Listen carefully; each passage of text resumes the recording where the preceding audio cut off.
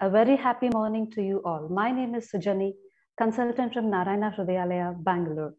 It's a beautiful day, and I hope you are all are ready with for this tea webinar with that cup of fresh, invigorating coffee. For those of you who could not attend yesterday, a small recap. We had excellent research paper presentations, the Golden Fate contest, and echocardiographic assessment of mitral valve, aorta, aortic valve, and advanced imaging techniques in congenital heart diseases. I'm glad to tell you that we had a robust audience, close to 5,000, trying to update and master in, the, in this field of echocardiography, reflecting the improvement in the patient care and management. Now, on behalf of ACTA, I thank you all for joining us for the third and last day of 6th International and 15th National IACTA's Transesophageal Echocardiography webinar. Please note the registered candidates who attend all the three days will be awarded with three credit hours from Karnataka Medical Council. I'd like to cover a few housekeeping topics before we get started. We are pleased to hear from you. We'll be running a live question and answer at the end of the session. So if you have any queries, please pop them into the chat box. We'll be answering them live or will be mailed back to you. To keep the quality of sound functional during the meeting, please mute yourself when you're not sharing. Now, without further ado, let's get started with the first session of the day. In this, we have paper presentations of interesting images and case reports. For this, I invite eminent moderators, Dr. Kumar Belani, Professor of Anesthesiology at Medical School, University of Minnesota, Dr. Rajesh Arya, Senior Consultant at Hero Heart Center, Ludhiana. is also the Secretary of IACTA, and Dr. Manisha Mishra, Senior Director, Cardiac Anesthesia and Critical Care at the Medicity, Gurgaon. She has numerous publications and presentations. May I now request Dr. Kumar Belani to take over the floor and proceed with the session. Over to you, Dr. Kumar Belani. Thank you, Sujani. This is a great uh, third day, and we look forward to the very interesting case presentations. And I'll uh, have Dr. Rajesh Arya introduce each speaker one by one. Let's begin, Dr. Rajesh Arya, with the first speaker. Thanks, Sujani, and uh, thank you, Dr. Belani. Uh, good morning and probably good evening at your place. Uh, good morning, yes. Dr. Manisha. So we have got 11 speakers in this session, and these are the free papers. And uh, each speaker is given five minutes. There will be timer on the screen. After five minutes, there will be one minute of uh, one question from any of the speakers, any of the chairpersons. And uh, the, the candidate has to answer within a minute. And then we'll go to the next speaker. And uh, we don't have any competitive uh, prize for this. Uh, this is to encourage the youngster to present papers in the at the national and international level. So to begin with, we have uh, got uh, first speaker, Dr. Ashwini Malthumkar, and I request uh, Dr. Ashwini to share her screen and uh, present her paper. Uh, Medinic people, can you put the timer on the screen, please?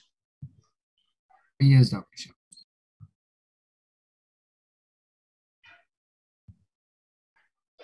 Yes.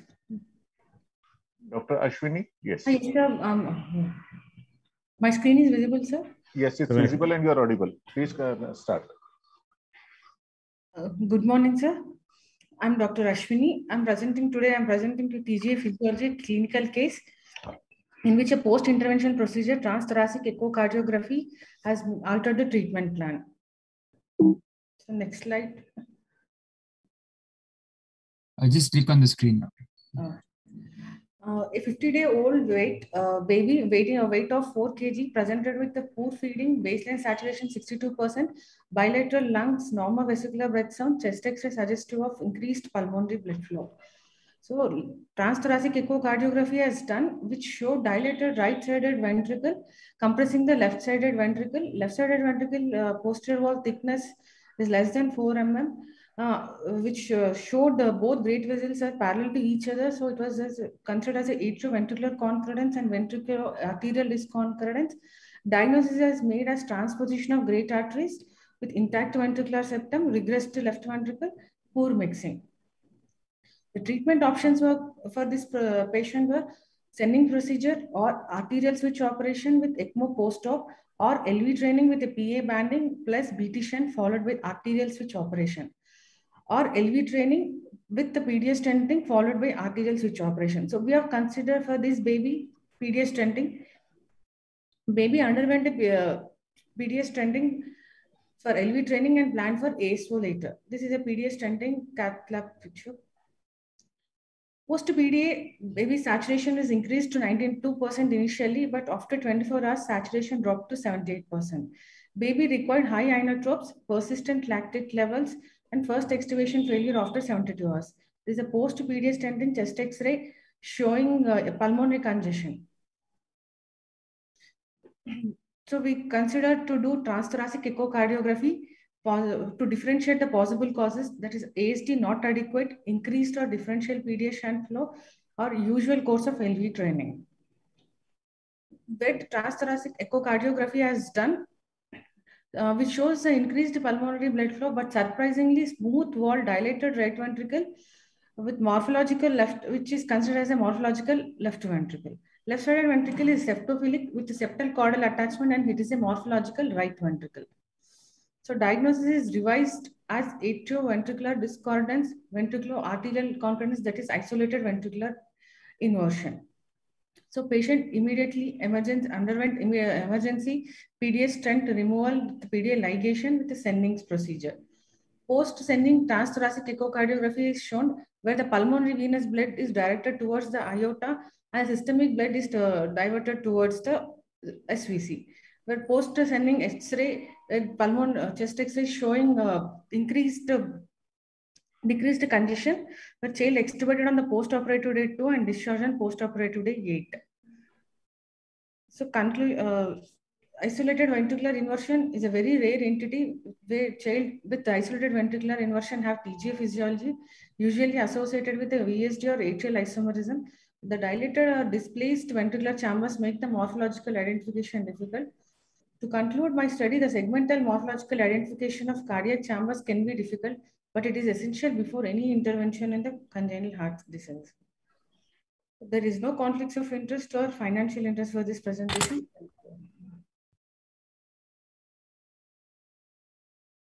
Uh, thank you, Dr. Ashwini. Uh, may I request Dr. Manjusha to ask a question to Dr. Ashwini? Uh, so, uh, Dr. Ashwini, that's, that's a very nice presentation. Uh, how does uh, uh, isolated ventricular inversion differ from congenitally corrected TGA? Ma'am, it is double uh, discordance, ma'am, where the atrioventricular discordance with the ventricular arterial discordance, madam. Okay. Here only ventricular arterial, uh, arterioventricular discordance, but uh, ventricular arterial concurrence, madam. So, uh, uh, it's very uncommon to be missed uh, by a pre-op echo, isn't it? Yes, ma'am. Yeah, it can happen once in a while. Yeah. Okay, good. Uh, Dr. Belani, sir?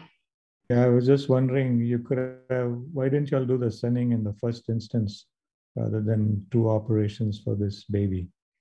The baby's uh, LV to train the LV, sir, baby is very pre, uh, low weight and small. So for LV training, we have done PDA stenting initially. Later on, Senning we have plan, Senning our atrial switch operation. So because we thought it as a, a DTGA previously. Okay. okay. Uh, uh, thank you, Dr. Ashwini. Uh, you may unshare the screen and uh, um, now I request the next speaker, Dr. Kedar Bengal, to share the screen and present his case. Uh, doctor, I'll just message you. Dr. Kedar is, uh, I think, not reachable at the moment, not able to. Okay. Uh, we'll wait for him uh, at the end. Now I request Dr. Jagdish A to present his case and uh, share his screen. Yes, sir.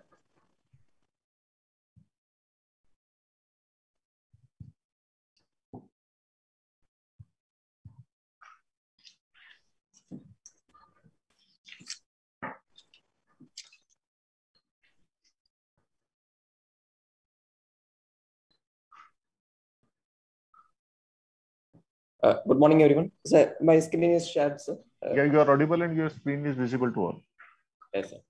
Uh, I'm going to today going to present about significance of imaging inferior vena cava with the transesophageal echocardiography for surgical decision making and managing the hemodynamics.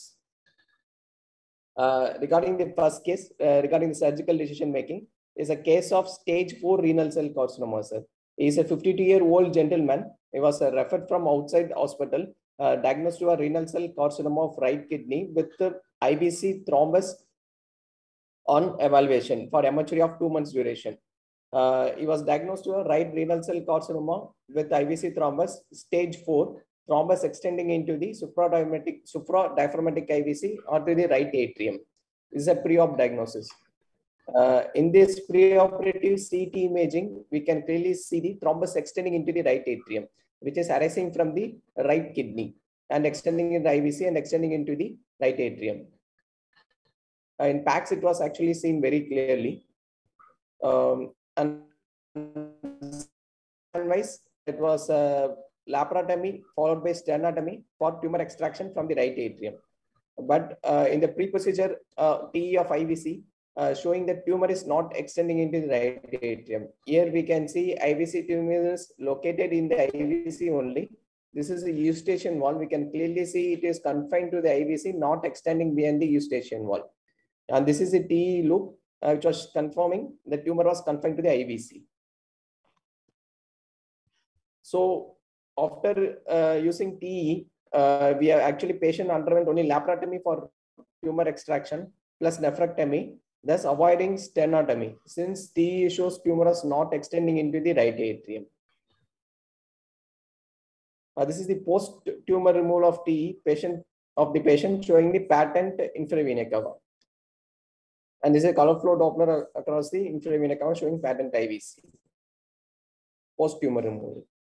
So IVC invasion associated with the uh, paraneoplastic has been reported up to 10% of renal cell carcinoma patients.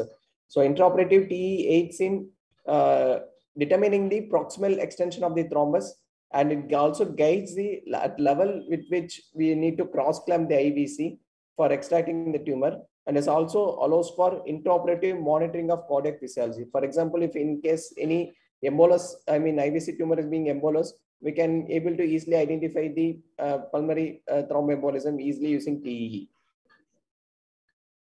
Uh, coming to second case is a case of is a 18 year old male, a case of tricuspid atresia with a ventricular septal defect with uh, pulmonary stenosis and lost eustachian valve, small PDA, status post BDG plus atrial septectomy plus eustachian valve uh, excision plus PDA division with good biventricular function.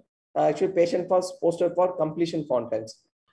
So intraoperatively, while dividing the upper end of the sternum, there was injury to the left innominate vein, which resulted in massive bleeding.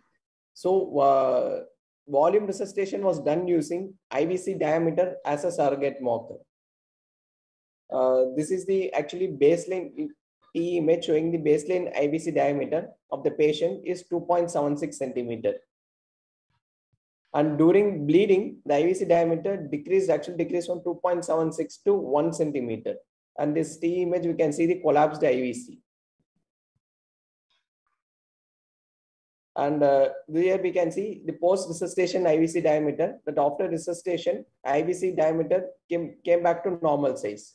So uh, imaging IVC, uh, I mean hypovolemic patients, patients can be easily identified using the measurement of the IVC, uh, measurement of the size and collapsibility of the IVC. So greater than any greater than 50% collapse from the baseline diameter of IVC suggests the patient is hypovolemic.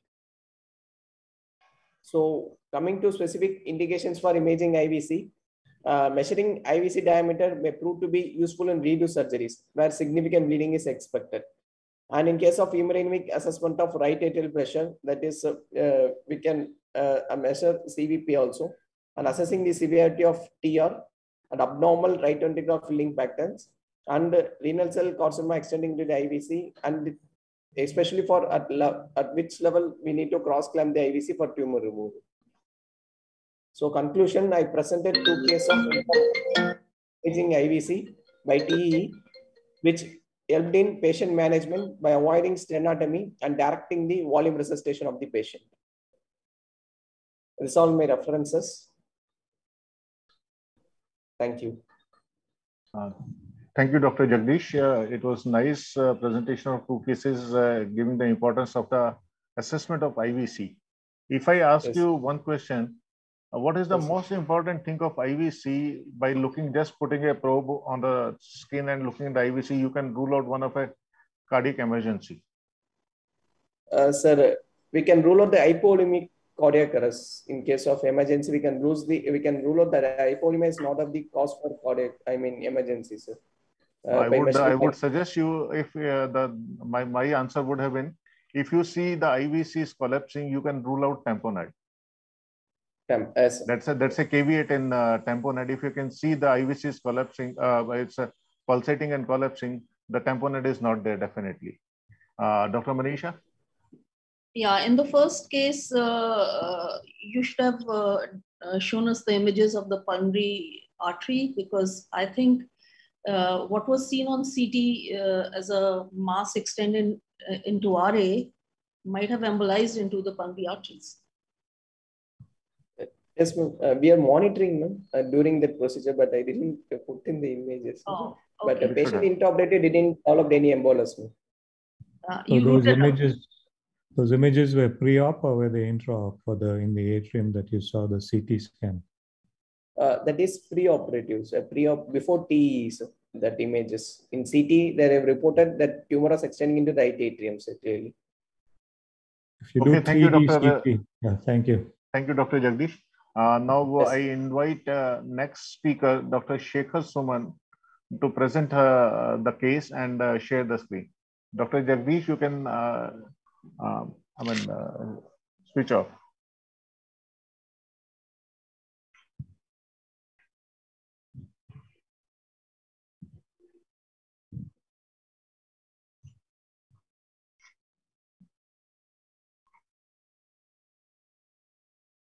I'm audible, sir. Yeah, you are audible, your screen is visible. Please start. Good morning, everyone. I'm very thankful to IACTA for giving me the opportunity to present on this platform. So I'm presenting an interesting case of post-CPB isolated anti-wall hypokinesia. So my patient was a 62-year-old female with uh, chief complaint of dyspnea on exertion with recent progression of symptoms. Transthoracic echocardiography revealed severe calcific aortic stenosis with mild to moderate AR with concentric left ventricular hypertrophy with EF of 46%. Angiography revealed severe stenosis of the right coronary artery. So she was planned to undergo aortic valve replacement with venous graft to the right coronary artery. So intraoperatively patient was monitored according to the ASA guidelines. Post-induction 3D TE probe was inserted.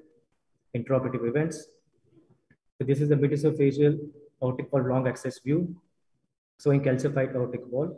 This is a 3D zoom view of the aortic valve in short axis showing restricted movement of the right coronary cusp with calcium deposition on the right and the left coronary cusp, which signifies severely calcified aortic, degenerated aortic valve disease. So this is a uh, medial uh, aortic valve long axis and the short axis view. We can see that there is mild to moderate AR with trivial MR. This is a transgastric mid-papillary short axis view. There is good systolic excursion of the endocardial borders with concentric left, left ventricular hypertrophy. This is the midesophageal aortic valve long axis view with atheroma seated near the sinotubular junction, signifying severe atheromatous disease. This is the 3D zoom cropped image of the aortic valve in long axis with multi-beat acquisition.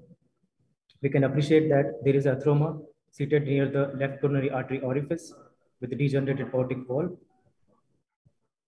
Similarly, this is a 3D zoom cropped image of the aortic valve in long axis, but there is absence of any atheroma near the right coronary artery orifice. So the patient was heparinized, uh, went, on CPB, a bioprosthetic valve was implanted in aortic position, RCA was grafted, aortotomy was closed with bovine pericardial patch augmentation.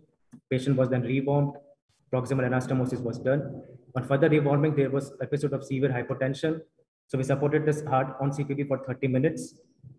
Other uh, rewarming, there was again severe hypotension, episodes of ventricular tachycardia and fibrillation, which reverted with DC shock. On doing TE imaging, what we found that there was uh, isolated hypokinesia of the anteroseptal, anterolateral, and the anterior wall. There was increased severity of the MR, but there was normal RV function and the normal bioprosthetic function. So what could be the possible causes? These were our differentials. So can it be chronic AF leading to the embolization of thrombus, but there was no history of AF? Can it be ineffective myocardial preservation, but the heart arrested with single dose of cardioplegia without any LV distension or ECG changes? Can it be paradoxical embolism through PFO, but there was no history of the PFO? There was no history of the fibrillosum of aortic wall either. So the most probable cause could be an embolizing atheroma. Now the right side was already grafted. So the most probable cause could be the uh, atheroma embolizing to the left coronary system. So again, we did 3D imaging and what we found that the atheroma which was initially present near the left coronary artery orifice was now missing. So this confirmed our suspicion. This is a transgastric mid short axis view. We can appreciate that there is isolated hypokinesia of the anterolateral, anteroseptal, and the anterior wall. This is a two-chamber view with color Doppler showing increased severity of the MR.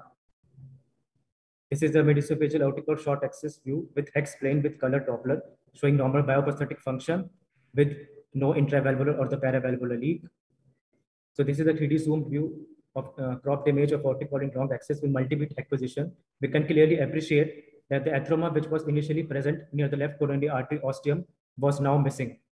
So this confirmed our suspicion that this atheroma might have embolized to the left coronary ostium, causing isolated anterior wall hypokinesia. So we went back on CPB, grafted the LAD, electively supported heart for a few minutes, then we slowly rewarmed. Now there was decrease in the severity of MR, there was normal anterior wall motion. So we weaned off the patient with minimal supports. So this is the transgastric mid-papillary short axis view with X plane. We can clearly appreciate now there was fairly good movement of the anterior wall. This is a mediastinal aortic wall long axis with color compare. They were normal prosthetic function with trivial MR. So in conclusion, whenever we come across a preoperative significant atheroma disease, a comprehensive TE examination post CPB should be done to rule out the embolization of atheroma in our case, 3D significantly changed the surgical management of the patient, reduce morbidity and mortality. There is no ethical clearance required. This is our original work. Thank you very much.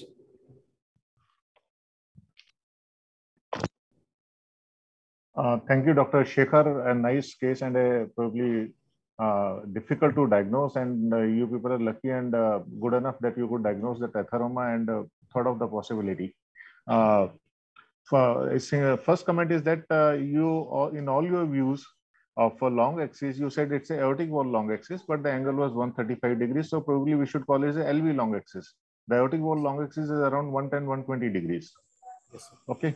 Yes, uh, and uh, my comment is uh, patient with aortic stenosis and you find out atheroma near the ostial origin of left uh, coronary ostia yes, uh, with with the coronary artery disease with the right coronary artery also stenosed didn't you suggest the surgeons or uh, the idea of retrograde cardioplegia rather than antegrade?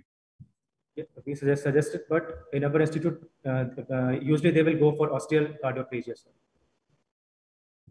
Uh, so they they went for ostial cardioplegia, not by normal cardioplegia uh, by putting cannula. They opened the aorta and put the cardioplegia directly into the aorta.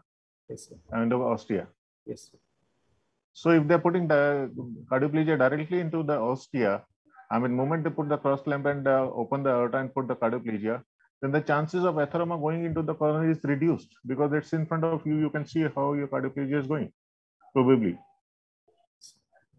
Uh, Dr. Manisha, madam, please. Yeah, I have two comments.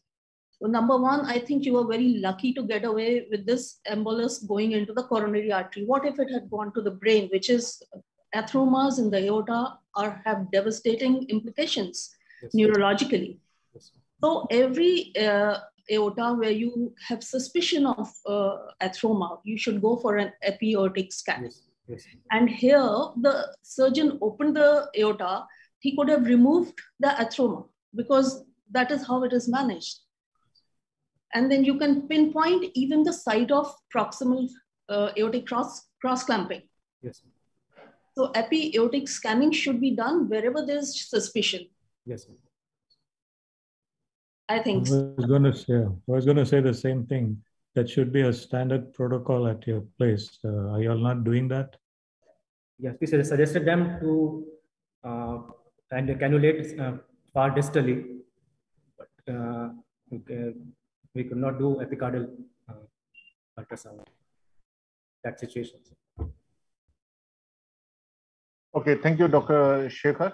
Now, uh, please uh, you. switch on your switch off your video, and uh, I request the next speaker, Dr. Varsha AV, to share the screen and present the case.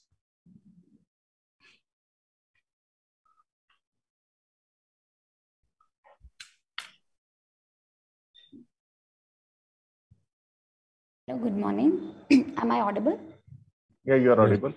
Uh, good morning, everybody. Today I'm going to present intraoperative critical hemodynamic management using transesophageal echocardiography, a report of two cases. Now, TEE is a semi-invasive tool that allows an etiological diagnosis of hemodynamic instability intraoperatively and also in therapeutic guidance report two cases where echocardiography helped to guide in the management of critical hemodynamics in, in an infant and an adult. Uh, case report one, there was a two-month-old child who presented with complaints of cyanosis and difficulty in feeding for one month duration. Transthoracic echocardiography showed uh, the child had a uh, transposition of great artery with side-by-side -side anatomy, Taussig-Bing anomaly, an 8 millimeter by uh, subpulmonic VSD with bidirectional shunt, a restrictive ASD, and a retropulmonary circumflex artery with severe pulmonary artery hypertension. Child was posted for arterial switch operation and a VSD patch closure.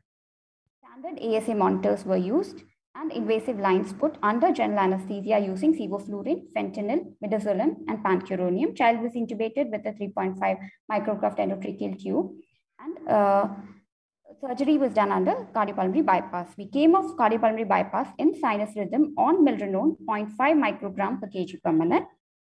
Epicardial, uh, epicardial echocardiography showed there was dilated RA-RV with reduced RV contractility, severe TR, and a right ventricular systolic pressure of 124 millimeter mercury plus RA. Here, the uh, epicardial echocardiography shows uh, dilated RA-RV with reduced RV contractility and a severe TR. And this shows the TR uh, max PG of 124 millimeter mercury, indicating a right ventricular systolic pressure of 124 plus RA.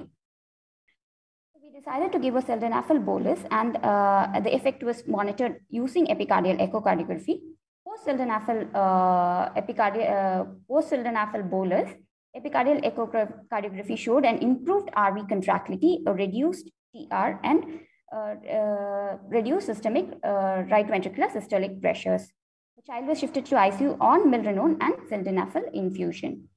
Here, the epicardial echo shows that the TR has come down, RV contractility has improved, and right ventricular systolic pressures are 14 plus RA. Case two, a 66-year-old gentleman was posted for uh, who was post PCI to LAD and OM, and an AICD inserted one year back. He complained of chest pain and fun uh, functional class 3 dyspnea on exertion. Angiogram showed restenosis of the LAD and OM stent and total occlusion of proximal, RC, proximal RCA. Transesophageal echocardiography indicated LV dysfunction with regional wall motion abnormality and the EF of 27%. Was posted for CABG with six graphs. Standard ASA monitors were used and invasive arterial line placed. Induction was done using midazolam, fentanyl, propofol, and pancuronium, and intubated using 8.5 uh, cuffed endotracheal tube. Uh, induction and intubation were uneventful. A right IJV triple lumen and a left femoral arterial line was secured cardiopulmonary bypass, the transesophageal echocardiography indicated severe LV dysfunction with an EF of 27% and a cardiac output of 2.4 liter per minute and a restrictive LV diastolic function. There was akinesia of, of the apex and segments and severe hypokinesia of the basal and mid segments. Here, the, uh, this shows the diastolic function, that is the E by A was 2.6, indicating a severe restricted uh, uh, diastolic function and a pulmonary venous Doppler showing uh, reduction of the S by D. CABG uh, with six graphs, that is Lima to LAD, right venous, saphenous venous graft to diagonal, major uh, terminal OM, uh, ramus, and the RPDA was done. Cardiopulmonary bypass time was 1 hour 15 minutes and the clock clamp time of 43 minutes. We came off cardiopulmonary bypass on adrenaline 0.05 mic per kg per minute and noradrenaline 0.05 mic per kg per minute. And bolus of milrinone, 500 microgram was given over 10 minutes, low IV push, and Infusion was started at 0.5 microgram per kg per minute. CPB, the TEE uh, showed an improved EF of 35%. Regional wall uh, motion abnormality had improved in the basal and the mid regions, and the LV diastolic function and cardiac output had improved. Here it shows the post-milrinone bolus improvement in the diastolic function, where it has changed from the restrictive physiology with the E by A of more than 2, uh, of 2.6 to uh, uh, uh, here it shows the impaired relaxation and the has improved. The cardiac output has improved to 3 liters per minute. A complete examination of left and right ventricular size, function, and valvular function is essential in, intraoperatively. And TE is shown to be the single most guiding, important guiding factor uh, in uh, management of 17 to 23% of the hemodynamic interventions intraoperatively. Also, TE has shown to alter medical therapy in 53% of the cases intraoperatively.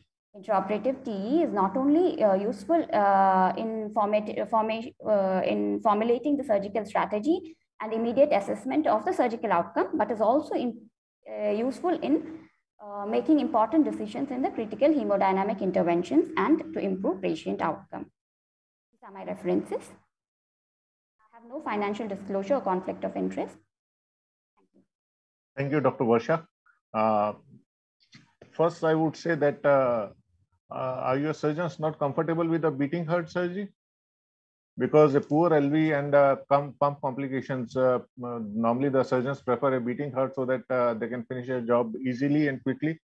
And second, if the surgeons are really even much more better, like in our institute, we do complete total arterial vascularization so that I mean, uh, the, the necessary vessels get the arterial grafts.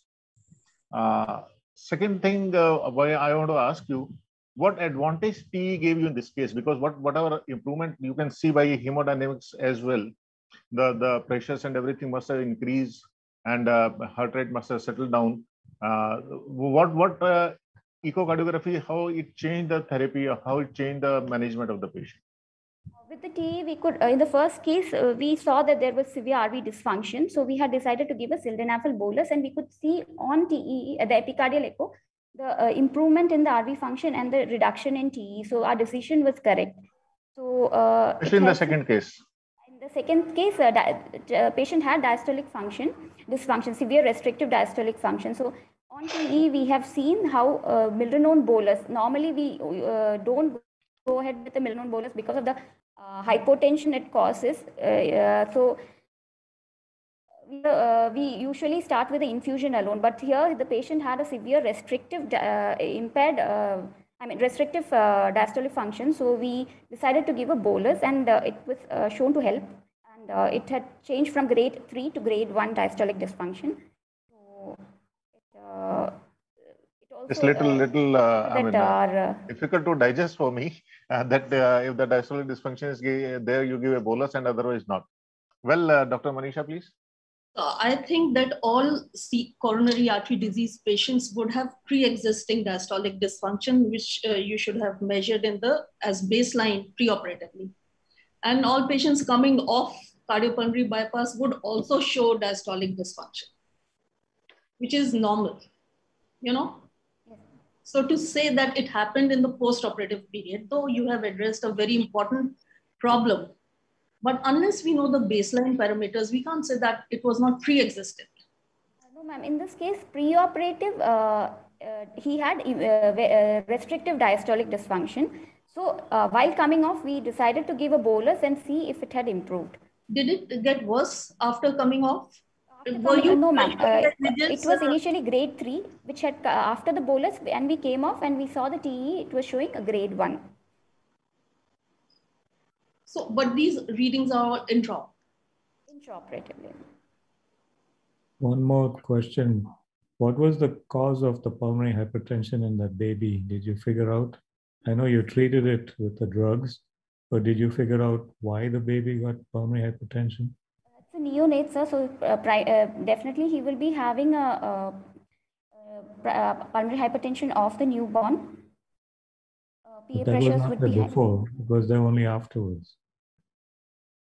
So, a child was uh, having PH also uh, pre-ops. Huh? Okay, just, just, okay. just a last comment. Did you start amiodarone in this patient with a, such a poor L, LV function? Just to know your protocol. No, okay. I uh, okay. Uh, thank you, Dr. Varsha. Nice presentation of two cases, starting from a young uh, boy to the elderly patient. You completed the entire range of uh, age of patients. Uh, thank you. You can uh, switch off your video, and now I request Dr. Rashna Vadva to share the screen and present the case.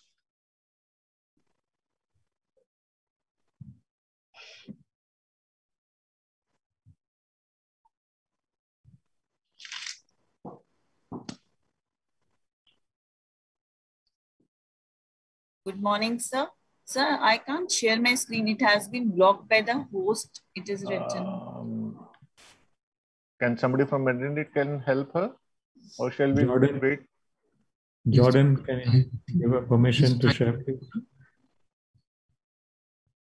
Uh, Dr. Rachna, can you try it again right now or, or we'll wait uh, for some time and invite next speaker? I just try, sir. Yes, please. Yeah, you can. There you go. Go to the presentation mode, slideshow mode in the bottom of the screen. Yeah. Yes. Start now. Good morning, everyone. I would like to thank you all for giving me this opportunity to present on this virtual platform. So I straight away begin with the case of, uh, this was a case of TGA and we had a two-year-old male child weighing 12 kgs and uh, the transthoracic echo showed unprepared LV. So this child was prepared for Senning's procedure. So this is, this is my first view and this was a deep uh,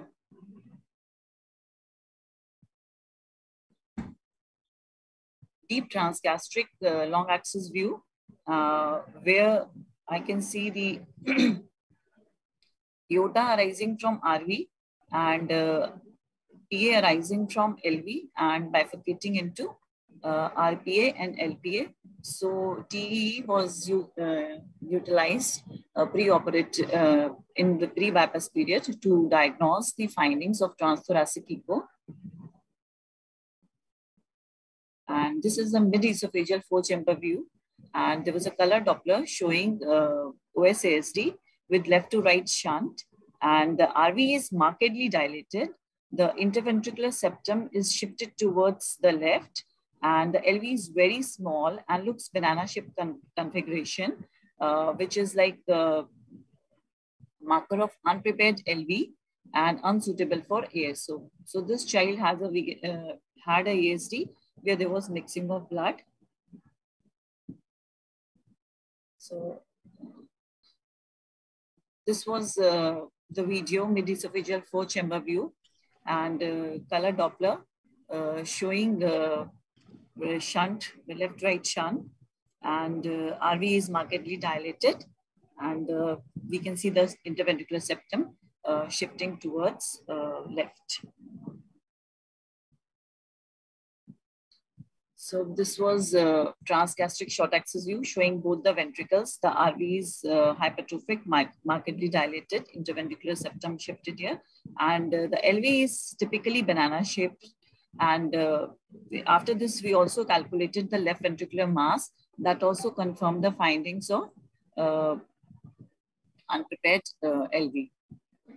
This was another video and it also shows the imaging uh, of both ventricles. Though the ventricular function was uh, good, the LV was contracting well, all the walls, whereas RV was hypertrophic and markedly dilated.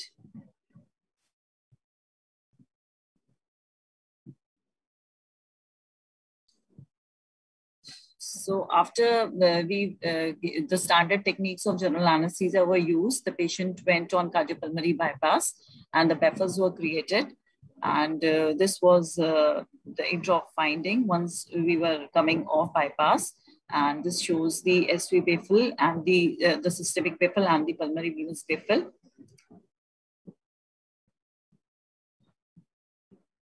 So the intra transesophageal uh, echocardiography, it confirmed the diagnosis of DTGA by delineating ventricular arterial discordance.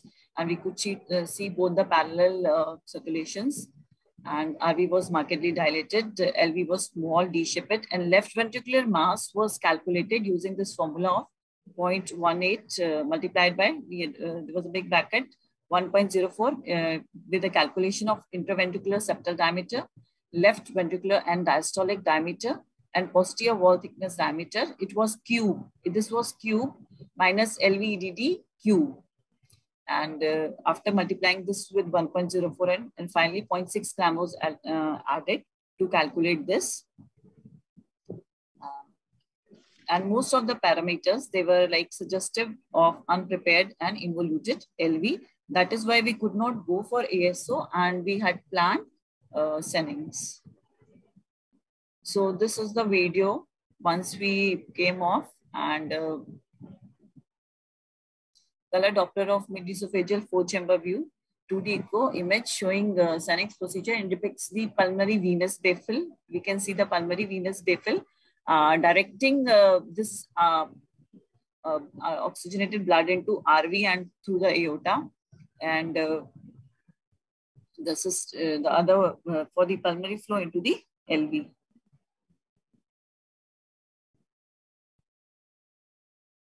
So uh, just coming to a short review of literature, what we mean by TGA and uh, the presentation is generally variant.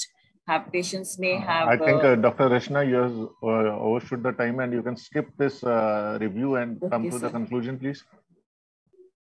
so, though yes. ASO is a technique of choice, but because of this unprepared LV, uh, the Sennings and all were done. And uh, the post-op, yes, the TE was very helpful in de-airing of cardiac chambers and showed the biventricular functions and the PV and SV baffles.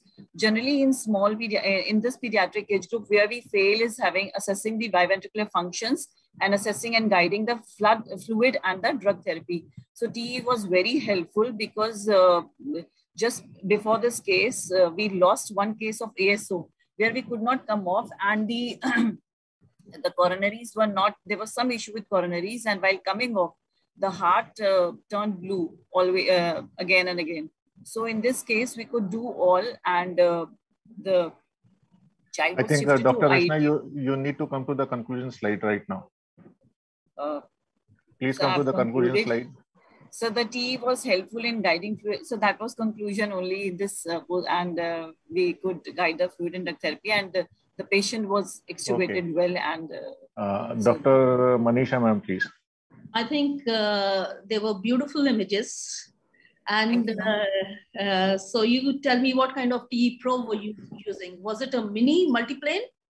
Yes, ma'am. It was. A, it is a pediatric probe we have GE healthcare machine and we can use it in, uh, this was the advantages uh, that we got with this new machine. Though we don't have 3D at present, but we have this pediatric probe. Otherwise, we were always looking for epi or epi. Uh, yes, ma'am. There are three kinds of pediatric probes. Yes, ma'am. Depending, uh, and the selection of the probe is based on the uh, weight of the baby. Yes, ma'am. Yeah, so that's why, was it a mini multiplane or was it a uh, by plane or just pediatric pediatric biplane okay. Kumar belani sir? Yeah so what what's your plan for this baby? When will you bring him back for for a corrective surgery? So i don't think now this child will be able to go for a corrective surgery further. Uh, just because after these baffle crea- uh, creations if if the if suppose the surgery took place early means if it is like in one month of age the lv uh, is can be prepared can be tamed and even if till one year of age lv can be with pda ligation and with having two stages surgery but after like two years having with os asds and uh, unprepared lv it is very difficult to have that lv mass Okay. So ASO uh, was not a plan. Uh, yes, sir. Few suggestions on your pre presentations. Uh, yes, there was sir. no ECG in any of the loops. Sir, I agree. Okay. Just because second there was thing, issue, I actually agree. Second, second yeah. thing, you have not worked very well on the knobology. Your depth was very disturbed. Half of the lower part of the screen was blank. you should have decreased the depth. And uh, again, all the knobs uh, you need to set before you start recording.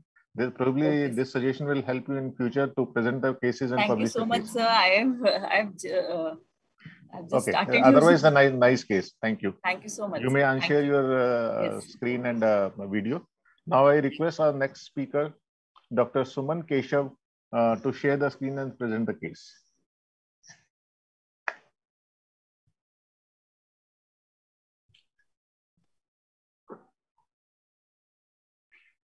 Dr. Suman Keshav, please unmute yourself, share your screen. Unmute yourself.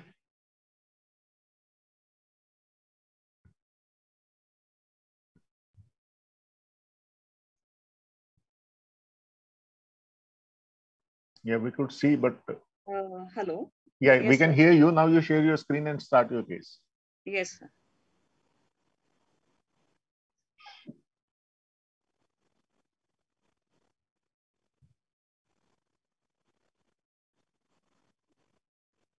Uh, hello, sir. Am I uh, audible? You are audible. Your screen is visible. Please start. Yes, sir. Uh, good, good morning to everyone present here. It's a pleasure to be presenting on this virtual platform. I'll be presenting a case report uh, for TA-PVC case that was done in our institute. Total anomalous uh, pulmonary venous communication is a rare congenital cardiac defect, which accounts for about 1.5 to 3% of all congenital heart diseases where the total pulmonary venous blood drains directly into the right side of the heart or the systemic veins. There are four types described, uh, supracardiac, which is 48% and one of the most common uh, types, followed by cardiac and infracardiac and mixed, which is only about 10% of the cases. Manifestation of TA-PVC is uh, highly variable, where it can present with either an obstructed uh, pulmonary venous flow, which shows us low cardiac output uh, syndrome, hypoxemia, or metabolic acidosis, these cases have high rates of mortality and morbidity, whereas unobstructed TA-PVC can have uh, right ventricular volume overload and present with congestive heart failure and pulmonary artery hypertension. In extreme end of the uh, cases, obstructed TA-PVC may also require pre-op inotropes, ventilatory support, or ECMO. And in uh, right ventricular overload patients where there is pulmonary artery hypertension, they may need pulmonary vasodilators, including inhaled nitric oxide, uh, pre-operatively itself. So anesthetic management in these cases cannot be cannot be presumptive, and we have to individualize for each patient. So we uh, conducted a case of a 22-year-old uh, male, an adult patient who had come to us in the preoperative period with history of chest pain and an, uh, an episode of uh, cyanosis with bluish discoloration of fingertips uh, with central cyanosis, basically.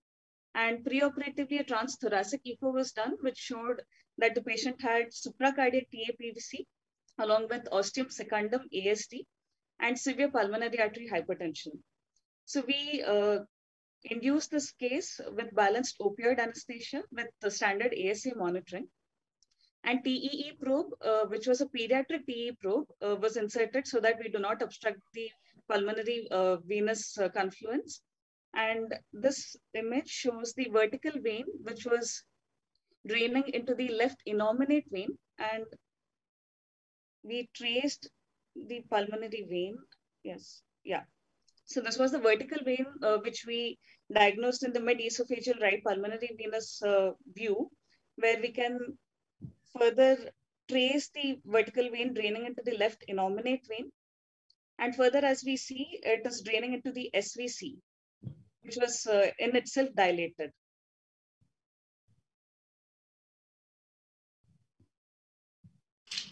So this was the vertical vein, which was uh, draining into the SVC.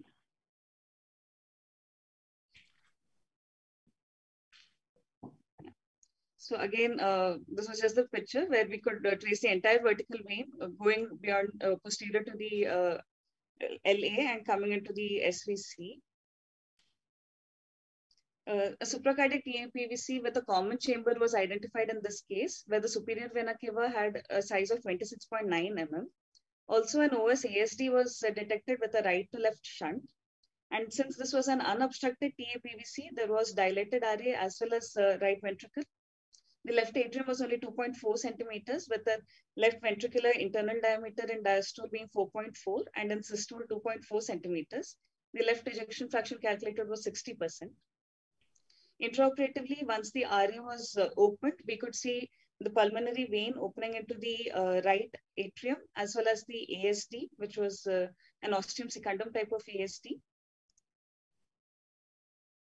And uh, again, when we see this, the SVC is very much dilated because of uh, the right ventricular volume overload. And uh, we can again, in this view, also see that the uh, vertical vein is draining into the SVC.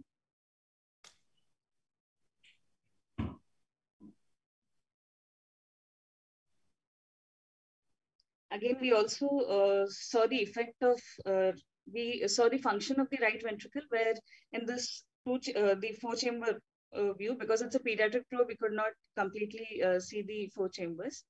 The right ventricle was uh, highly dilated with thinning of the right ventricular wall, as well as the interventricular septum had lost its convexity and had become straight, suggesting again highly dilated RV. Uh, though uh, the LV had good contractility, the RV ejection fraction that was calculated came out to be 45%. In the modified bicaval view also, uh, we could assess the uh, vertical vein, which was draining at the junction of the SVC to RA. And a very highly dilated SVC can be noted in this view.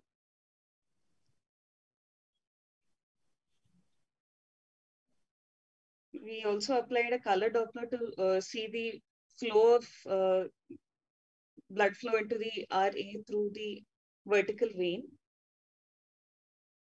And also in that view, we could assess uh, for the presence of TR, which was mild in this case. This was a 22-year-old male uh, who had Uh, SpO2 87% on Hmm. air. 50 Dr. Suman, you rule. need to uh, reach to the final diagnosis because you have overshoot the time already. Okay, sir. Uh, so basically in this patient, uh, we could assess the RV function uh, along with the assessment of pH. Indirectly, we could calculate PVR using our TE machine.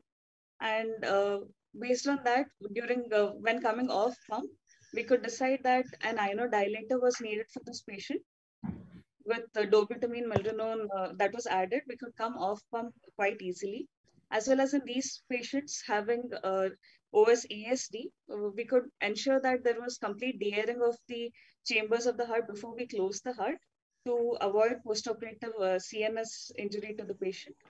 So TE helped us not only preoperatively to confirm the diagnosis and to see the site of confluence which was coming in, to assess the right ventricular function. Also postoperatively, it helped us to see the adequacy of surgery, to assess biventricular function, as well as to see the SVC gradient postoperatively uh, wherever this usually, which is important when a pulmonary vein drains into the RA SVC junction. Thank you, Dr. Suman. Uh, quick question by Dr. uh, Manisha, ma'am. Um, well, did you, uh, you haven't shown the gradients, uh, any slides, Doppler views of a gradient across uh, SVC?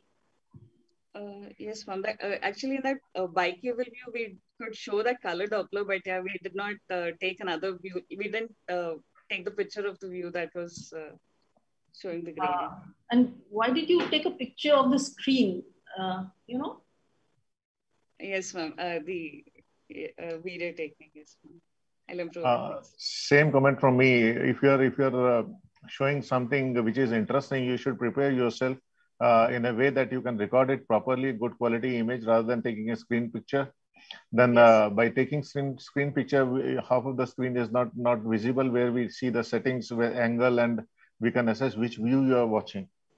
So I think uh, be, be a little more aggressive in uh, recording and uh, transferring the recording from uh, the machine itself rather than the camera. Yes, sir. Kumar, sir. do that next. I have one comment. Uh, do you guys do CT angio for these cases? Because a three-dimensional CT angio will give you a good uh, uh, anatomy also. Uh, yes, sir. CT angiography was done for this patient, uh, which also told us that there was a, a T- supracardiac TAPVC, which was draining into the RA. So when you Whether- knew when you knew Uh, that the patient has got a, a third vein draining into the SVC, you should have been well prepared with the echo machine, with the ECG and everything, and uh, could have recorded beautiful pictures of that. Thank you, Dr. Suman. Uh, now I invite the next speaker, Dr. Pranati Eranki. uh, to share the screen and present the case.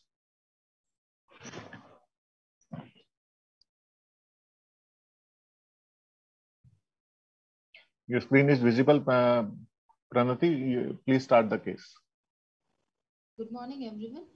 Uh, I'm Dr. Pranati. I'm a cardiac anesthesia final year resident from Jayadeva Hospital. Today, I'm going to present a case uh, that is post-operative retroaortic mass. Should we re-explore or not? Coming to the case report, uh, this is a case of three-month-old 3.5 Can you go kg to the female- screen? Can you go- to the uh, presentation mode?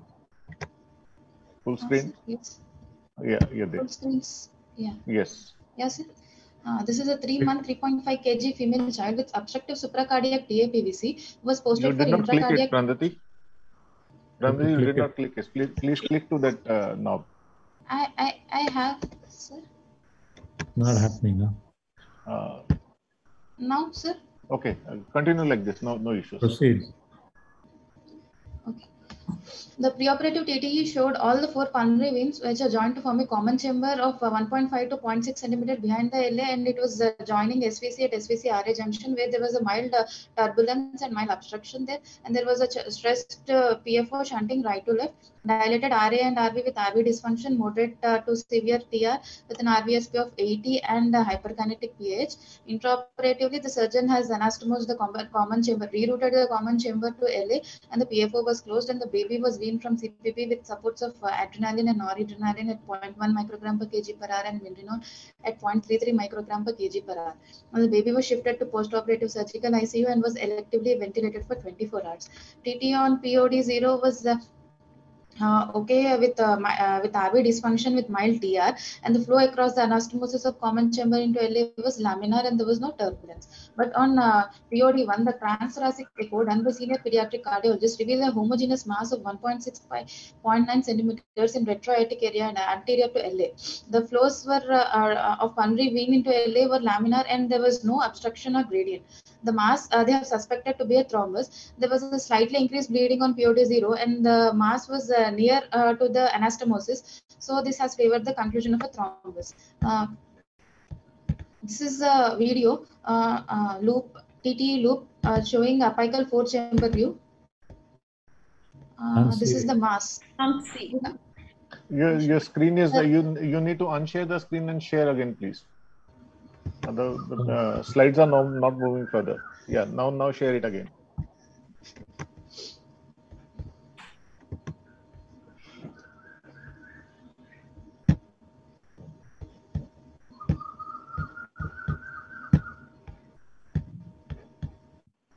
It's not happening. Oh, yeah, yeah. Can you see, sir? Uh, go to full screen see- mode. Yeah, Go to, go to full screen mode. Yeah, sir. Okay. Bottom right, bottom right, full screen. Yeah, I, I- actually, in my laptop, I'm able to see in full screen mode only, sir. Hmm. Uh, I think uh, uh, you can set the things la- uh, right and we can go to the next presenter probably. Otherwise, without seeing the videos and loops and pictures, there is no meaning of uh, presentation. Uh, we'll, we'll come back to you, uh, Dr. Pranati. May I request Dr. Anita Divakar to, to uh, share. The, Pranati, you can unshare your screen right now. Switch off your computer and switch it again. We'll come back to you later. Okay, there's some, some uh, snag in your system probably. Okay, Dr. Anita Divakar, please. Yeah, we can see your screen. Go to the full screen mode and start presentation.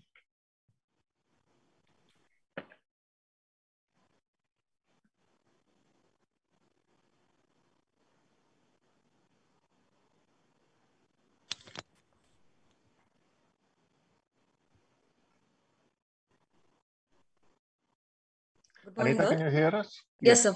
Yes, Yes, go to the full screen mode and start immediately. Yes, I'm not able to go to the full screen mode, sir. I'll present the continuation. Right, continue.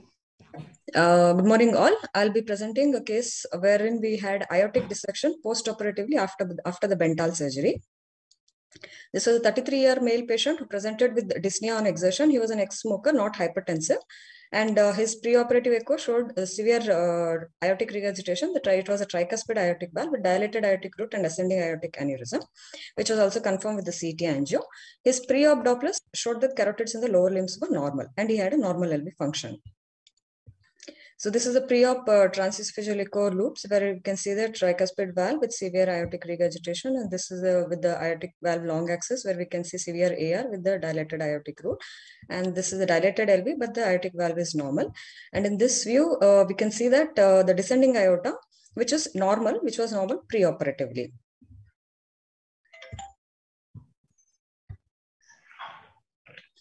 So this patient, uh, we uh, for anesthesia, uh, before prior anesthesia, we inserted a right radial artery and after induction, we placed a left femoral artery cannulation was done. And he underwent a Bentall procedure wherein the aortic valve was replaced with the 27 uh, TTK valve and the ascending aorta and the root was replaced with a 32 size uh, polyester graft.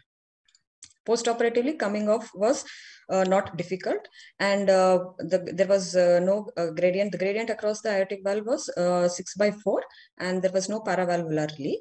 And there was very mild lv dysfunction which for which we had a minimal inotropic support in the post op in the immediate post-operative period, we saw that the femoral artery pressure trace was found to be dampened, and we thought it was due to the malpositioning of the arterial catheter. But however, on inspection, there was uh, the, uh, the, arterial cannula was in place. We also cross-checked with the ultrasound, which also was found to be in position. And then we noticed that both the lower limbs were cold and it was poorly perfused. Then we did a Doppler examination with the ultrasound, which showed very poor signals. So we thought probably there could be a thrombus or there could be possibility of the aortic dissection in, as this patient had aortopathy pre-existing. And we also did an ultrasound on the other uh, femoral artery, which we had a suspicion of di uh, dissection because there is separation of the intimal layer. So we did a TE in the ICU, and we then, then we confirmed the aortic dissection, and it was orig originating in the aortic arch. However, it did not involve the left subclavian artery. So this is the view wherein the, this is the aortic arch long axis view where we can see the dissection flap there. And this is the short axis view of the arch where we can see that it is not involving the subclavian artery. This is the descending aorta uh, where we can see the true lumen and the false lumen. So since there was malperfusion, that is the lower limbs were cold and clammy, and though the urine output had not significantly dropped at this point, however, the plan was to uh, stent this, uh, to put an endovascular stent to address the malperfusion. And uh, for this, we also used the TE to guide uh, the uh, to help in uh, detecting the guide wire in the true lumen and help the deployment of the stent. So in the cath lab, uh, TE was also placed and we deployed an endovascular stent after the distal pulses improved and angiography showed good renal perfusion also. So this is the TE which was done in the cath lab where we can see that this is a stent with the guide, uh, guide wire with the true lumen. And this is the cath lab uh, images where you can see that there is an endovascular stent which is placed and this image shows the good renal perfusion. Generally, the aortic dissection is mainly, uh, most commonly, it is due to the pre-existing causes of the aortopathy, which was also there in this patient. And it can also be caused due to acquired conditions like hypertension and other causes. And there is possibility of iatrogenic causes, especially uh, during aortic cannulation during cardiac surgery in the presence of aortopathy. In this patient, uh, probably it was uh, spontaneous aortic dissection which occurred post-operatively. And uh, because uh, pre-operatively we had uh, checked the descending aorta there was no uh, dissection. And TT uh, is very accurate as accurate as CT and MRI in terms of sensitivity and specificity. It can be easily used bedside which makes it ideal in a hemodynamically unstable patient. Our patient was hemodynamically stable but it was a bedside which could immediately diagnose and uh, when it is diagnosed, when it is uh, stand for type A, it is generally a surgical emergency, which uh, has to be addressed immediately. Type B, usually intervention is required in complicated cases, like as in this case where there was malperfusion. So we conclude that in the background of a strong clinical suspicion, post-operative transesophageal echocardiography played a crucial role in the early diagnosis and subsequent management of this aortic arch dissection. Thank you. Uh, thank you, Dr. Anita. It's a very tough, complicated, and uh, uh, uh draining the NS that is uh, present in the ICU. Uh, I've got a couple of questions. Yes, sir. you are having the TE probe in, in, in the patient during the operations of Bentall, which you did. And yes, I think you, you used a separate valve and a separate ascending aorta graft, yes, sir. not a yes, composite sir. graft. Yes, sir. Before shifting, did you do, do the TE and there was no dissection? Sir, uh, before shifting, we did not see the descending aorta, sir. I mean, uh, yeah, that is one thing yes, sir. you missed. Yes, sir. If Yes, you, sir. Yes, you sir. would have seen this uh, Yes, because sir. sometimes. Second thing, uh, what was the cannulation, aortic cannulation site? Was it axillary or a femoral? Aortic cannulation was in the high arch, sir. High arch uh, um, uh, cannulation. Yes, was it over was- the was it over the wire or a direct cannulation? Direct cannulation, sir. Okay. Okay, because uh, if it is axillary, sometimes the wire can uh, dissect the descending aorta, which we had one case. And uh, intraoperatively, the urine output and everything was okay. Everything was fine, sir. So you, It was not don't- during the cannulation, sir, because there was we didn't have any problems on pump. There was no acidosis also. So we didn't have probably it was post-operatively, sir. Okay. and Dr. Manisha, ma'am. Yeah, because I just, uh, you did show that image pre-operative of descending. uh, Yes, aorta. Ma'am. I think it was just missed because uh, immediately coming off pump, you did not uh, visualize. We did not see the descending aorta post-operative. Yes, ma'am. No other comments. huh? Two questions. Uh, one one is uh, when you when the case was done, you said the limbs were not getting proper circulation, just in the immediate uh, in the operating room itself. In the no, sir, in the ICU, not in the OT. In the ICU, when we shifted, we wanted to check the arterial position also, and that time we noticed that the peripheries were cold, the lower limbs. So it was it was up later in ICU because otherwise Yes, you sir. could have you could have done sir. something. Now, what what was the reason that he had this separation of the of the dice, uh, you know, aortic area? Why why did he do that in the post-op period? The spontaneous aortic dissections in the presence of aortopathy is possible, sir. And uh, probably during decannulation also, if anything must have, if some injury must have occurred during decannulation and some reinforcement sutures which were taken, we do not know exactly. Either there are two possibilities. Either during decannulation there could have been an issue, or it, it was a spontaneous dissection which can is known to occur in these aortopathy patients. If The you- last question, knew uh, preoperatively, one, one more before, if the if this patient had dissection preoperatively and the aortic valve disease, could you have done aortic valve replacement and placed the stent without going into open heart surgery and done it transvascularly? Yes, it could have been done, sir. A last, last uh, small, uh, quick uh, reply from you. How did you manage the proximal pressures when they were inflating the balloon for stent placement, especially in presence of a few hours before you had done a Bentall? So the pressures we had kept the lower side only, sir. It was around 90s only, sir. Sometimes, The right uh, radial artery we had. Yes, sir. uh, sometimes people do do fibrillate, electively fibrillate so that they can Uh, put uh, the no, balloon sir. We did not do that. We did not use the de- fibrillation method. So we just kept the pressures on the lower side. That's it. Okay, and you managed it well after that. Yes, sir. Okay, thank you. Nice presentation, uh, Dr.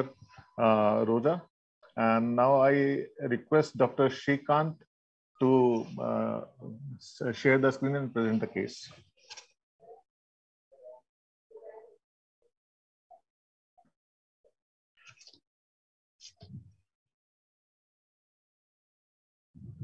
Good morning, sir. Am I audible, sir? Yeah, you're audible. Your screen is visible. Please start.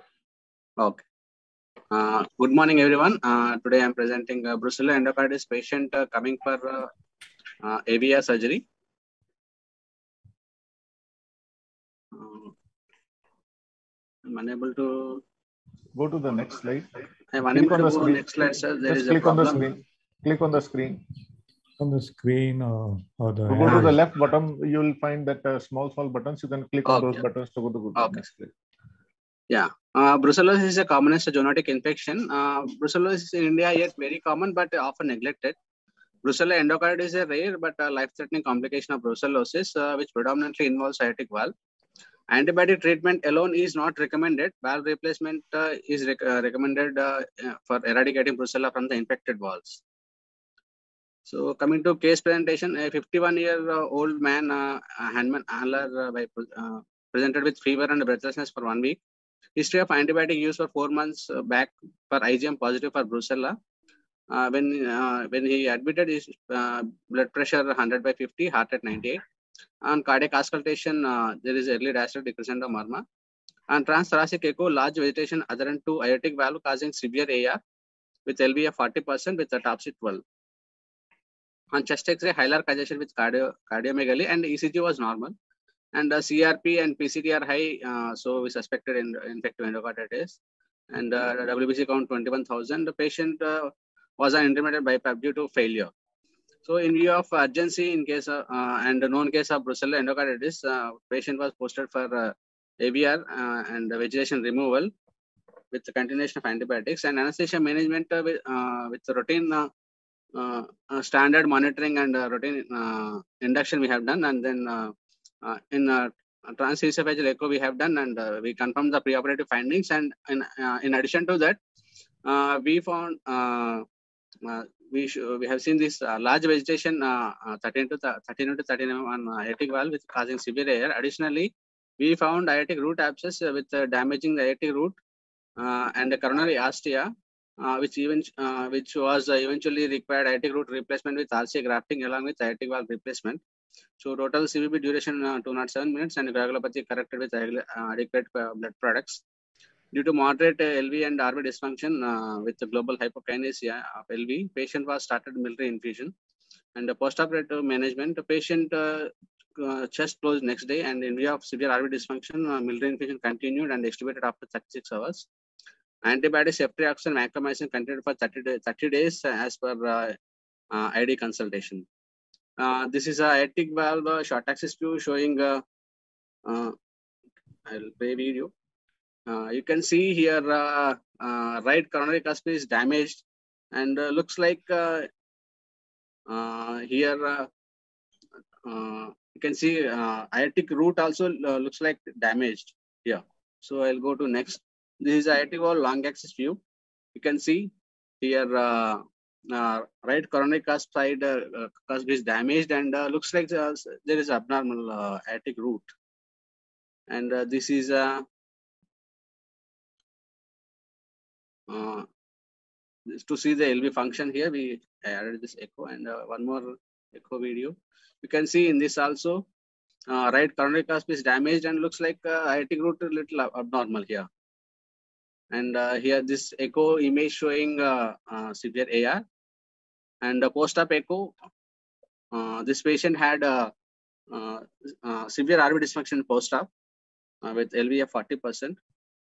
And the conclusion, uh, patient with the Brucella endocarditis requires a meticulous uh, echocardiac evaluation. In this case, uh, transesophageal echo uh, helped in diagnosis of aortic root abscess in coronary sinus area, which uh, changed the surgery plan from aortic valve replacement to aortic valve uh, replacement with aortic root replacement with right coronary artery grafting.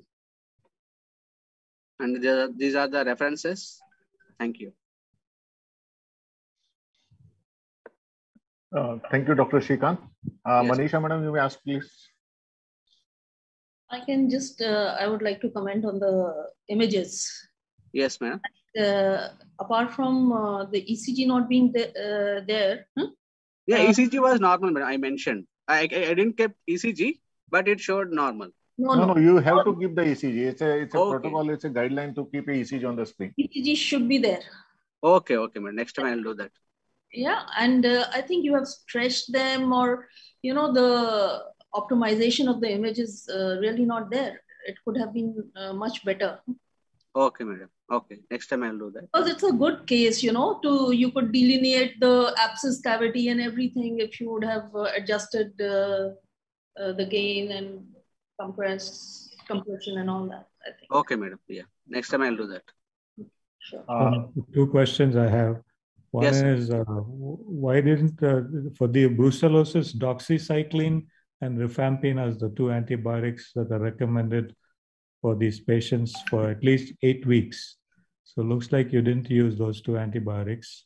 No, patient uh, patient was uh, intubated. Patient is on BiPAP. He couldn't take oral, so we started IV antibiotics. He's in failure. at- Yeah. Afterwards, like before he went home, you could have given him those two. And the second thing is uh, this: uh, do they have any vaccine for this brucellosis so that farmers who are taking care of animals? Uh, actually, in can- India, in India, a vaccine is not recommended as per guidelines for humans. Vaccine is indi- uh, recommended for animals. Okay. Okay. Uh, we will go to the next presenter and I request uh, Dr.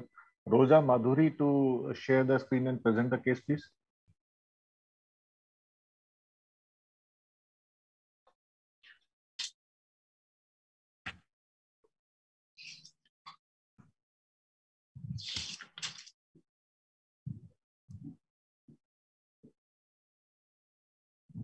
Shall I start, sir? Yes, please. Am I audible? Your your audible screen is visible. Please, sir. Yes, sir.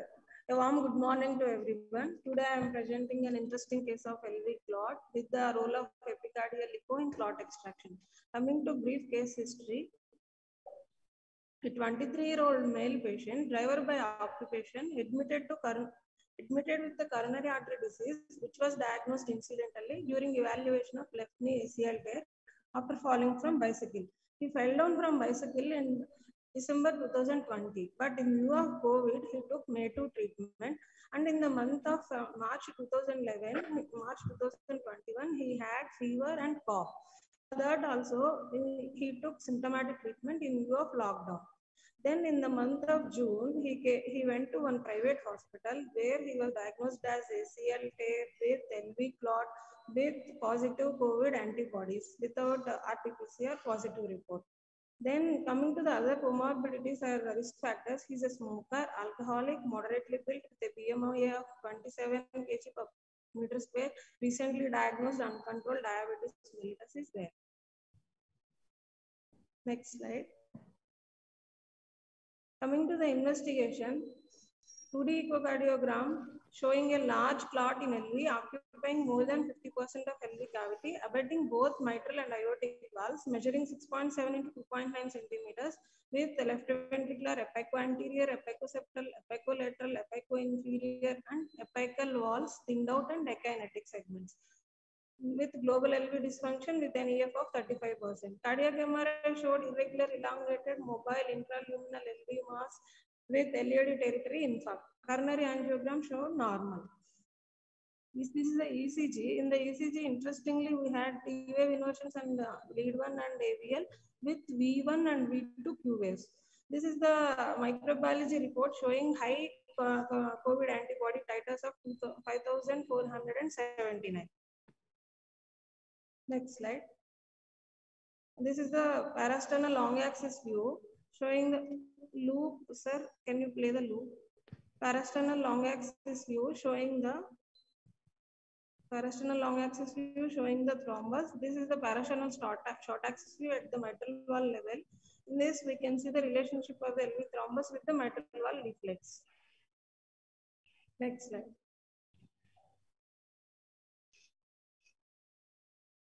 Next slide, sir.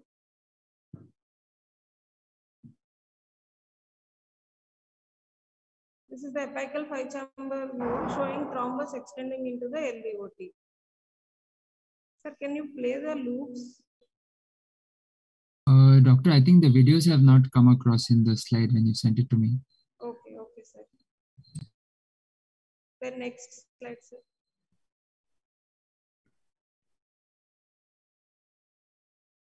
Next slide.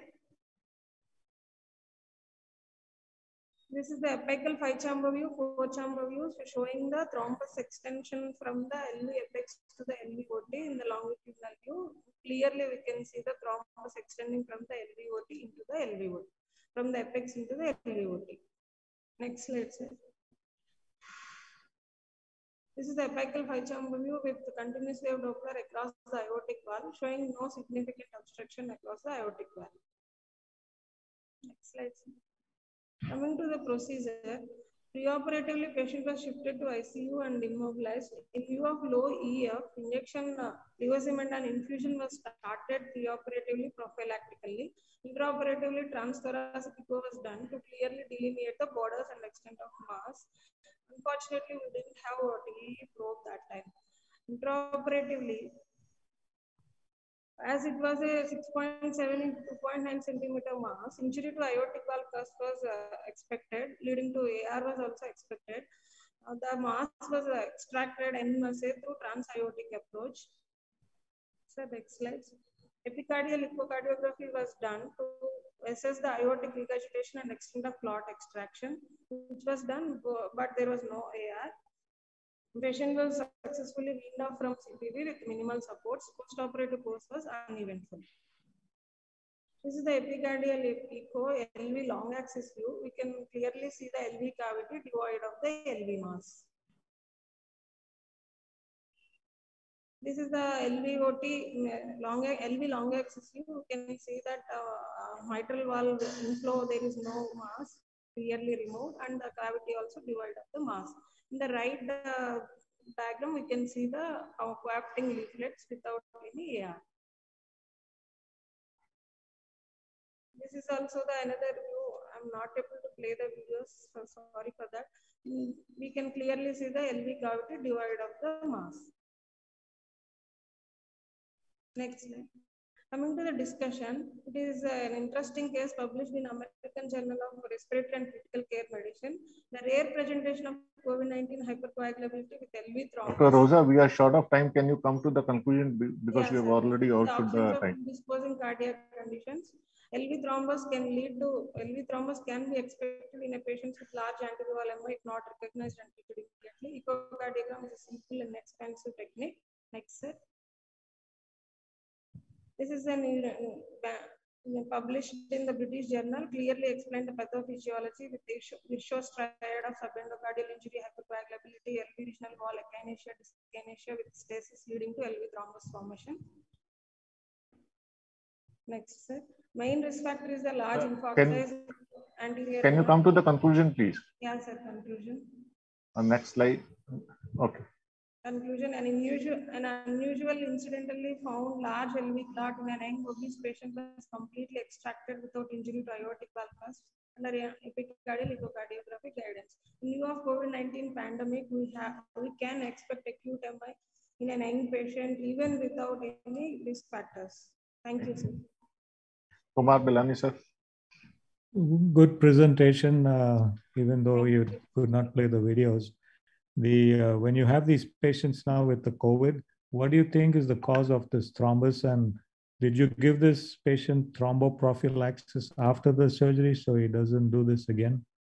Yeah, sir. We have started him on warfarin, sir. Okay. So you Yes, think in this case it was European and American Heart Association guidelines, vitamin A antagonists are beneficial sir, when compared to anticoagulants. So we have started him on warfarin 2 mg. Sir. Was he also vaccinated against COVID before he came to the No, sir. hospital? No, sir. Actually, he, is, uh, he was not unaware of COVID infection, sir. Whatever I- he got in the March, he took a symptomatic treatment. That's it, sir. After coming here during for like for ACL tear surgical evaluation, we have done all the investigations. In that, antibodies was positive. Even RT-PCR is also negative. Okay, Manisha madam, a very quick question from you. Well, uh, why was uh, the clot not removed through the LV cavity? Ma'am, the clot is I mean, into the why through the aorta when it was so big? And it was an infarcted uh, left ventricle. Yeah, ma'am. Actually, clot is uh, encroaching the LVOT. So our surgeon decided to remove it as an NMAS or in pieces through aortic approach, ma'am. Transaortic approach. Okay, If thank you, not thank you. maybe sir would have done that. Thank you, Dr. Rosa. Uh, you may uh, switch off your video and I request Thank you uh, so much, sir. the next uh, presenter, Dr. Alluri Sojanya, to, to share the screen and present the case. See. Good morning, sir. Good morning. Sir, can I start? Yes.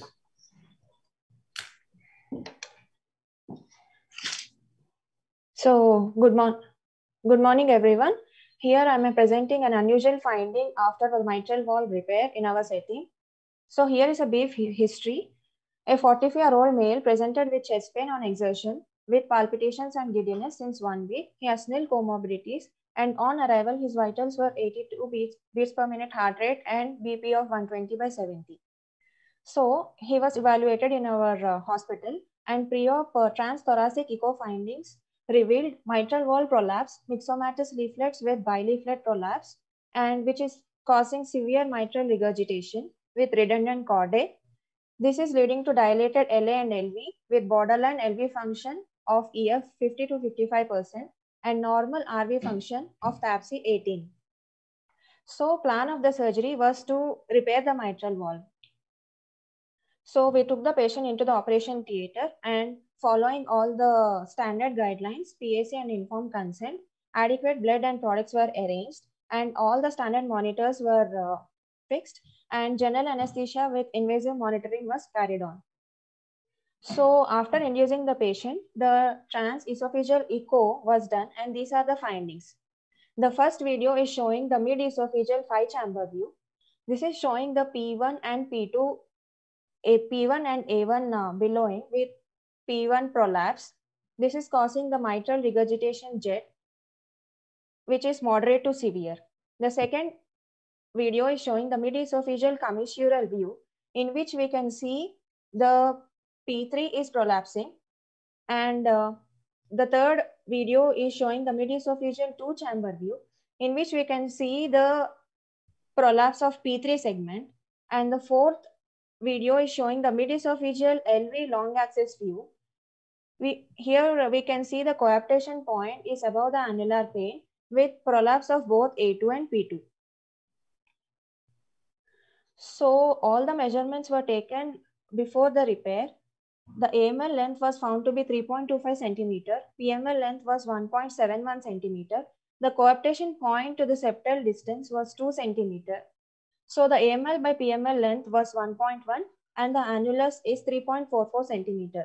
All these measurements are in favor of predicting the post-repair systolic anterior motion of the mitral leaflet.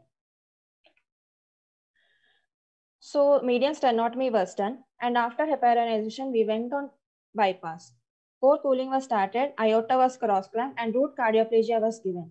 Transeptal approach was used to repair the mitral valve. So the mitral valve was inspected intraoperatively. There was gross prolapsing of the P2 segment, which was resected by quadrangular resection technique. And annular reduction was done using 34 mm Medtronic profile 3D annuloplasty ring. So uh, after the post repair, while coming off bypass, we have performed TE, TE for the first time. And this showed as we are seeing in the first video, there is uh, some segment of the P2, resected P2 segment, which is found in the LVOT tract, which is causing a significant obstruction of the left ventricular outflow tract.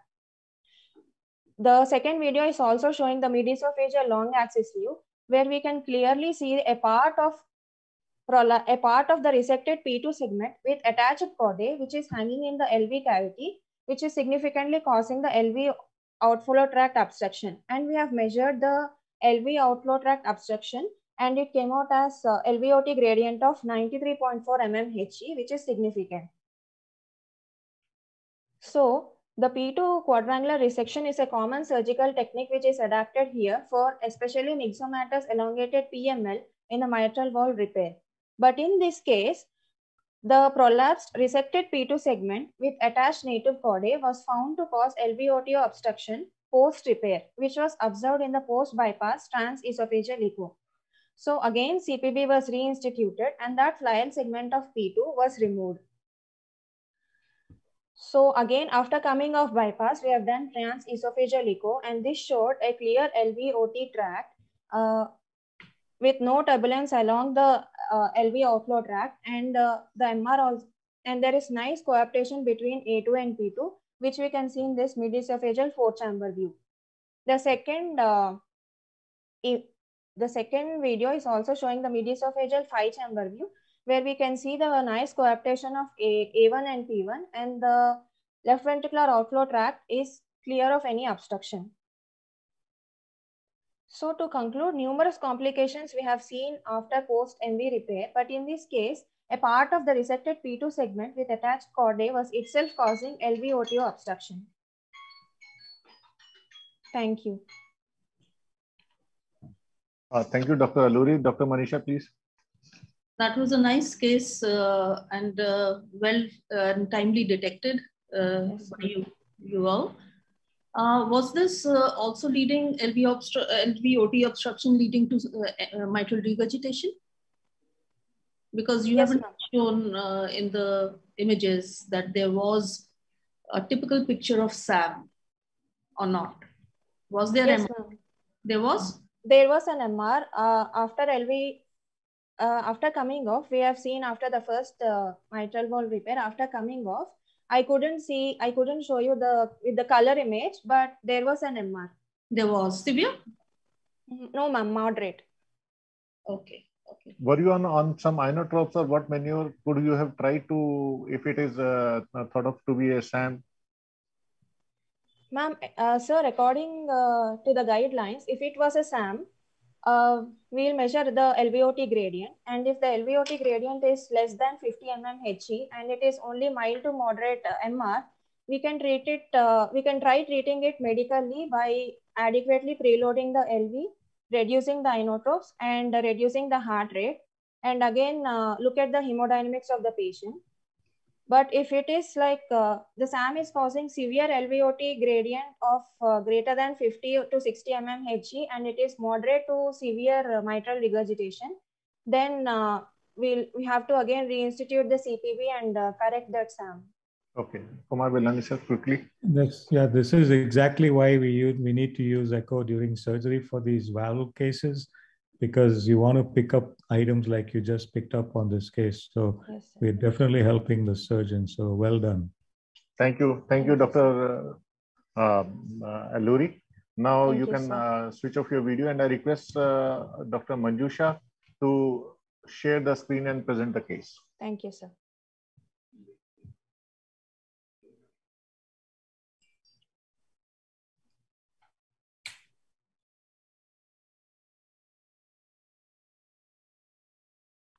Uh, Good morning. Uh, Am I audible and Yes. visible? Uh, Good morning, respected judges and my dear colleagues. Today, I would like to share my experience with echo-guided per- perventricular device closure of a ventricular septal rupture. Um, uh, Ventricular septal rupture, even in the current era, has a high mortality. Surgical closure is a definitive treatment, although transcutaneous septal closure is attempted in selected patients. Our case report describes the role of echocardiography in uh, uh, with um, epicardial and transesophageal echocardiography with 3D imaging, which was able to uh, guide successful perventricular closure in this case. Our patient was a 53-year-old diabetic lady with a previous anterior wall myocardial infarction, which was lysed outside. Uh, apical ventricular septal rupture was detected on post-infarct day seven, and she was referred to our center for management. She was initially stabilized with nitrates, heparin, antiplatelets, and supportive therapy. There was no evidence of endocrine dysfunction. Her coronary angiogram showed a single vessel disease in the LAD, and the right heart catheterization showed a significantly increased shunt. QPQS was 2.5. So preoperative transthoracic echocardiogram showed a 6 millimeter defect in the interventricular septum with a left to right shunt. In addition, there was hypokinesia of the mid and apical anterior wall and interventricular septum. Her ejection fraction was 50%. There was mild MR, AR, moderate TR with moderate pulmonary hypertension. So following a multidisciplinary team meet, we decided to proceed with a perventricular closure of the VSR with a single vein graft to LAD. Uh, general anesthesia, following general anesthesia, endotracheal intubation and controlled ventilation. Intraoperative TE was done with an X7-2T uh, 3D TE probe with a Philips 7C ultrasound system. Epicardial echo was with the X-Matrix probe, which was prepared in a sterile sheath. So uh, the 7 millimeter uh, ventricular septal rupture was demonstrated in the transgastric LV short axis view with the shunt from left to right, and a similar short axis view of the LV on epicardial echo was obtained, showing the shunting from left to right. Uh, accurate position of the accurate VSD morphology in terms of location, size, and shape of the VSD was obtained using 3D TE MPR mode. And based on this, an Amplatzer muscular VSD occluder of waist diameter 10 millimeter was selected. So the panel on the right is showing um, um, okay. The right hand panel is showing the epicardial image which is obtained with the probe position on the heart and the guide wire is shown crossing the VSR into the LV with and without color flow Doppler. Uh, the left hand panel shows um, four, four panel view obtained on full volume 3D color using TE where the sheath is correctly positioned in the short axis view and in the long axis view in the left ventricle. The following adequate position, LV disc was deployed in the LV short axis and long axis view on epicardial echocardiography. Uh, the following video shows the VSD morphology. In the en face view, you can see that in systole it is circular and in diastole it is, uh, the shape changes to an elliptical shape.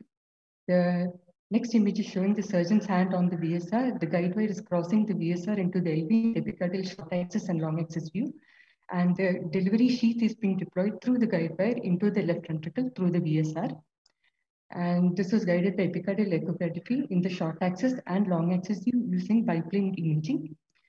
And this was the uh, epicardial uh, full volume mode showing the positioning of the sheath in the mid LV in the short axis and long axis planes.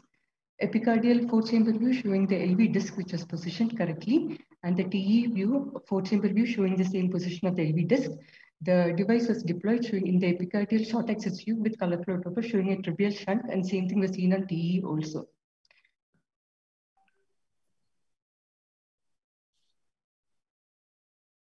Um, this is the LV four chamber view and the long axis view. This is the 3D color flow imaging on full volume, which is showing a good device position and trivial shunt. And uh, uh, TE two chamber and four chamber view showing for the ventricular function following the LAD graft. So post-procedure recovery was uneventful. She was discharged on post-operative day five and post-operative transthoracic echo showed good device position. She has successfully completed an uneventful two-year follow-up to date. So in this case, we were able to successfully close the VSR and achieve complete coronary revascularization in the single setting, and we were able to avoid the risks of CPB and also complications in percutaneous device closure. So to conclude, intraoperative 3D TE imaging helped in accurate pre-procedural planning for guiding and monitoring device deployment and to confirm the final device position. Epicardial echo provided additional imaging in addition to TE, and we were able to use multiple 3D imaging modes for this. To the best of our knowledge, this is the first report of a combined epicardial and transesophageal echo with 3D imaging for successful perventricular closure of a post-infarct VSR. Thank you.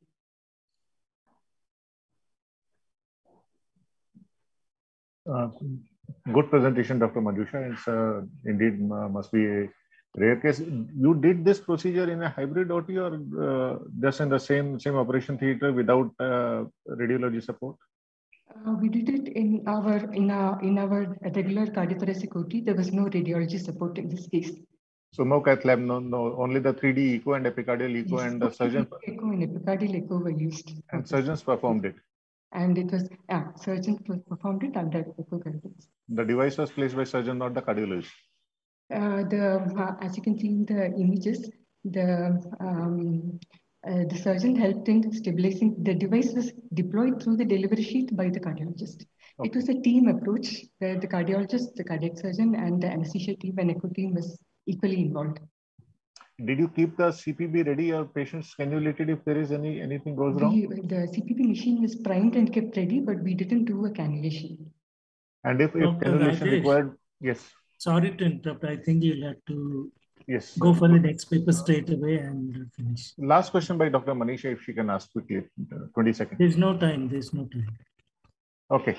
Uh, as the organizer says, we are short of time. We go to the uh, next presenter. Presenter, thanks, Dr. Manisha. Thank you. Manjusha, you can switch off your video. Dr. Kamla Kanan, uh, can Thank you, please- Manjusha. Dr. Kamla Kanan, can you share the screen and present the case? Yes, sir.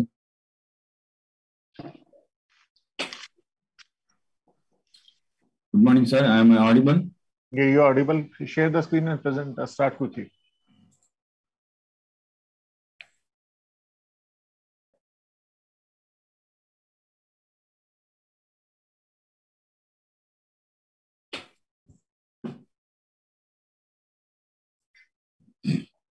Morning, sir.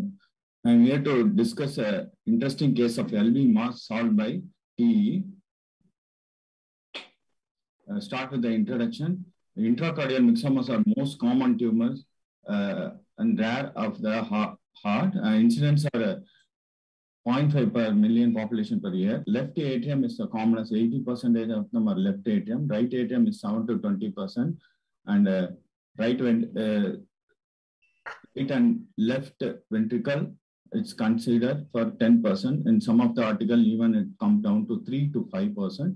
Most of them are benign.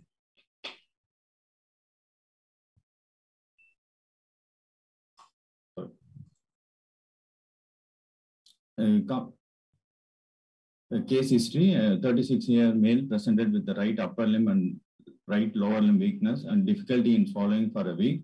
A known case of uh, homocysteinemia on regular treatment.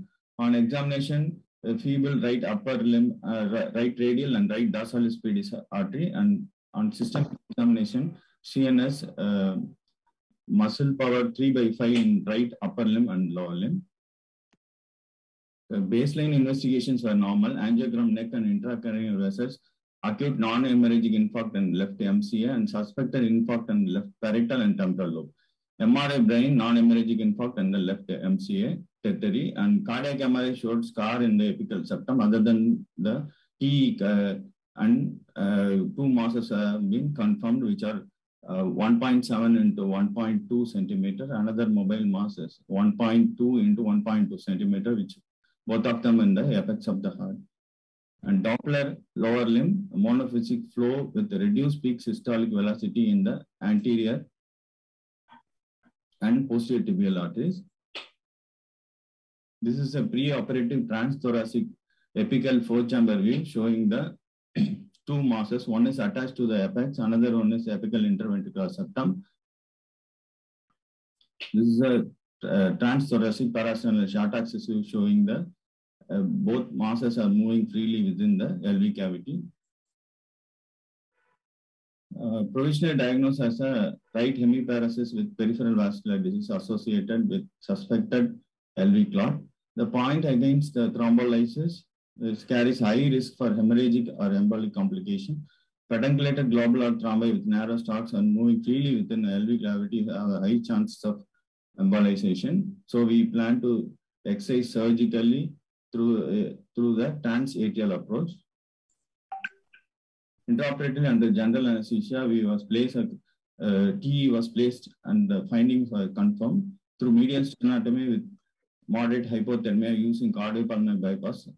LV mass was, entire mass was removed uh, with a safety margin, extubated on table without new neurological deficit. This is the intraoperative four-chamber transthoracic echograph mid-esophageal view showed there is a LV mass which is uh, showing both the mass are moving and normal functioning well.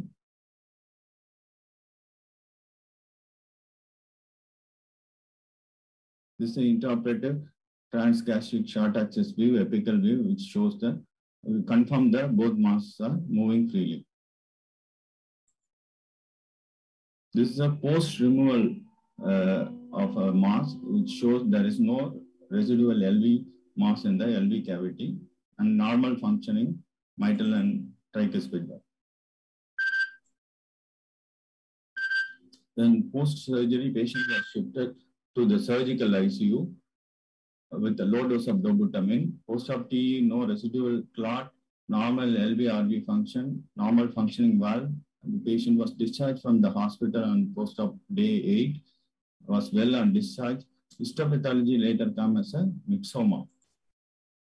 These are all the images, uh, transthoracic images, post-op short axis, uh, apical four chamber, parasternal long axis view showed there is no residual myxomas or uh, any other abnormal pathologies. Discussion, LV myxomas is a rare presentation, common in female, present in the fifth and sixth decade, but presented early in our patient.